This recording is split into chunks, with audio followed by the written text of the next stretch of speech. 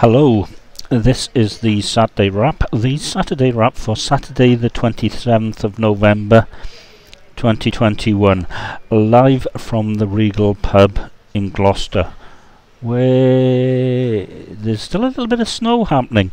Nothing sticking, but it's all very Storm Arwen. So, if you haven't seen this before, this is me prattling on about the week that has just gone. There's tech, there's beer, there's definitely beer.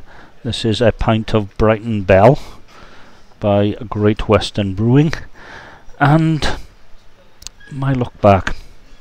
Anyway, so let's start with the word or phrase of the week. Well, there's a lot to choose for. Omicron is big, and then there's Arwen for the storm, but I've gone for Peppa Pig because nothing says modern intelligent government than Peppa Pig. Irony alert. Definitely irony alert there. The app of the week. Uh, the app of the week is on Android and it's on iOS and it was on uh, Windows Mobile. It's the YouTube app and it's what I will be using for uploading this and learning how to use the software that I'm using. And yesterday afternoon in the Pelican Inn watching Pink Floyd. It is really good. I mean it could do with a little bit more customization especially on the uploading but I love it and I use it all the time. And it's free and generally bug free as well but what can you do? I've introduced a thing called the thing of the week. I don't know if I'll keep it and I don't know if I'll get any feedback on it but think me anything. But this week is something that really helped me. I remember back to April and it was getting warm and I wanted to test the uh, the air pressure in the tyres and I've got a proper gauge and all that and they needed some pumping up and I've got a dual cylinder foot pump and it took ages and you take it off and the air would come out and the guy from the top of the road lent me his air pump, the electric type. And I've been having a look at these for ages and here's the issue with Amazon reviews you can't really tell if they're going to be any good because some say they're brilliant, others say they collapse after about 10 minutes. Anyway, I bought, and I think it was about 12 quid, the, Ring RAC 610 12 volt analog tyre inflator from Amazon. And it's great.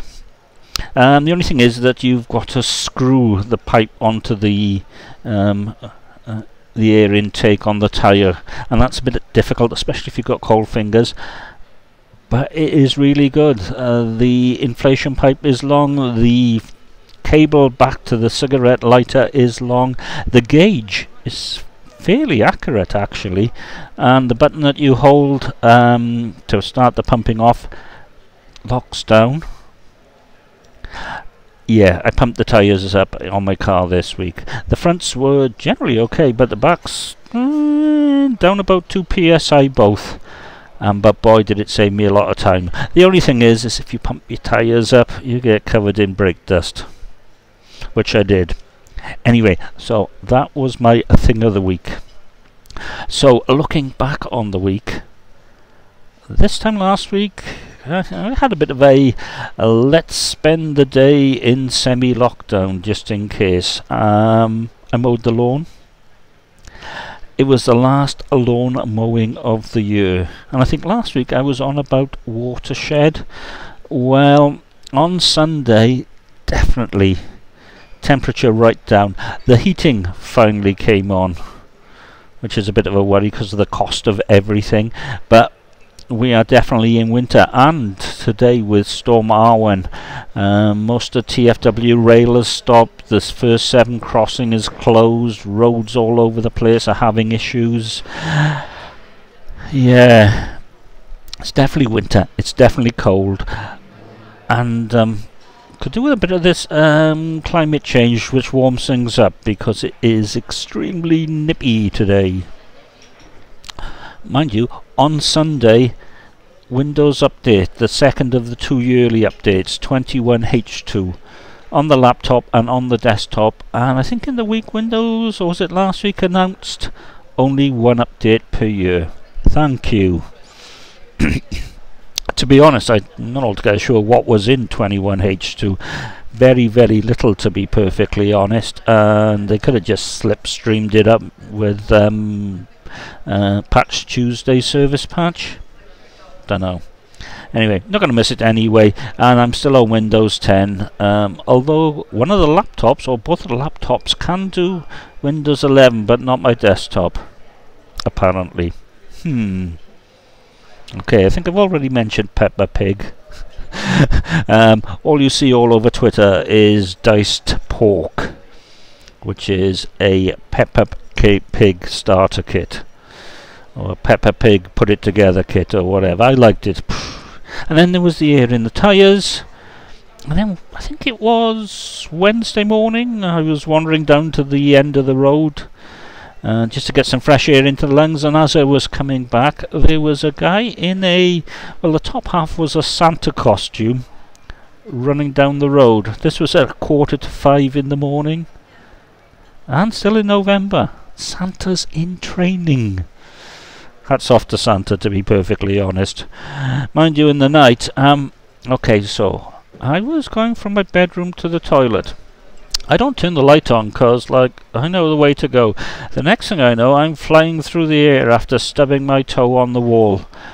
Um, the one next to the big toe, very bruised, uh, very black. I don't think I've broken it. In fact, I mm, probably guarantee I haven't broken it. But oh, it was painful, and still is a little bit now, although it is recovering. Yeah, bodies again etc. I missed this from last week. Things, internet memes, podcasting 2.0. If you haven't heard of that, Adam Curry. Podcasting is moving on, and I don't mean podcasting and things like Spotify because they don't actually have podcasts because they don't actually have RSS feeds. Curry who was there for podcasting. 1.0 is back for 2.0 and he is taking it forward. Open standards. That's the way forward. And then well 2006 for me was web 2.0 it's now all web 3 which is a decentralized web and things like the blockchain. That's the big thing at the moment and you'll probably be hearing that quite a lot in the future especially if countries go towards cryptocurrencies and they're from banks, which won't be Web3 anyway. Um, the reason I am in Gloucester, the reason I am in the Regal, MB08, which should have been in August, but you know, um, the Pelican Inn here is having a Manchester Beer Festival. They are open from 12 o'clock each day and they have got some corkers and filled rolls. You can either have cheese and onion or onion and cheese. I had one of each. And a Cloudwater Collab at 10%. They have some great people there. They have a real fire. And the internet is a bit flaky at the moment, but usually it's pretty good. And I like it a lot. What else have we got? Oh yeah, back home. Disruption on the Caerphilly depot for the buses. Like tons of disruption, not like the odd one or two buses. Tons of buses. Something's going on there. It's like if they were on an early morning strike. Mm, investigative journalism by the South Wales Argus and Wales Online completely missing again, uh, and um, BBC Wales bit too parochial up the valleys for them, you know. And lastly, ordered some rat poison. Something is eating my potatoes in the lobby. Uh, it's either a I think it's a rat. So I have ordered rat poison from Amazon.